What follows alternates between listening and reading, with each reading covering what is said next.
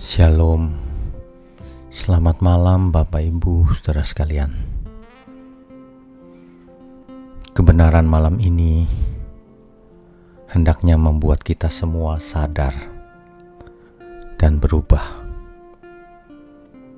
Sebab selama ini Kalau seseorang ditanya Apakah engkau sudah berkenan bagi Tuhan? Seluruh hidupmu, seluruh hidup kita, saudara. Bukan hanya sebagian waktu kita. Maka orang akan menjawab dengan menunda waktu. Sulit untuk menjawab hal itu. Seringkali yang muncul adalah jawaban sedang dalam proses, Pak. Ya memang kita semua harus diproses benar. Tetapi kalau dari tahun ke tahun, dari dulu jawabannya sedang diproses terus, mungkin kita perlu introspeksi diri. Sebab diproses pun ada tingkatannya. Diproses bagaimana? Di awal proses, di pertengahan, atau di akhir proses.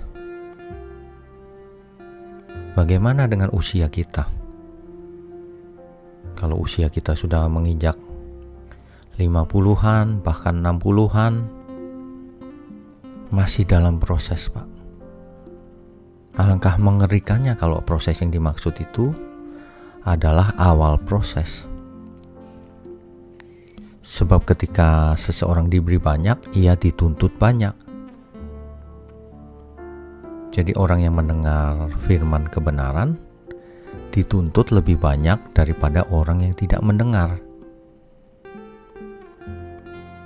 Begitu. Ya. Jadi jangan kita membiasakan diri menjawab sedang diproses, Pak. Tapi ketika kita menjawab sedang diproses, itu kita harus tahu.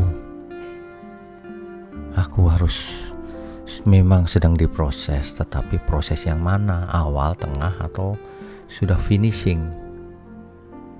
Perhatikan usia kita juga. Jangan sampai kita sudah tua tapi belum mengerti apa-apa. Belum bertobat. Ini mengerikan loh saudara. Ya.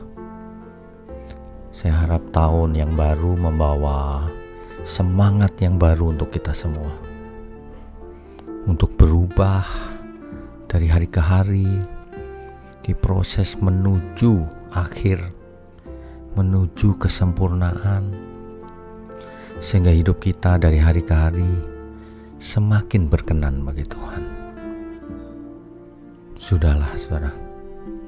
Kita jangan duniawi lagi. Mari kita tuntaskan hidup kita ini Mari kita fokuskan seluruh pikiran, perasaan, tenaga, akal budi, semuanya untuk belajar mengenal kehendak Tuhan dan melakukannya. Untuk belajar menjadi anak-anak Allah. Selamat beristirahat, saudara. Selamat malam. Tuhan Yesus memberkati kita semua.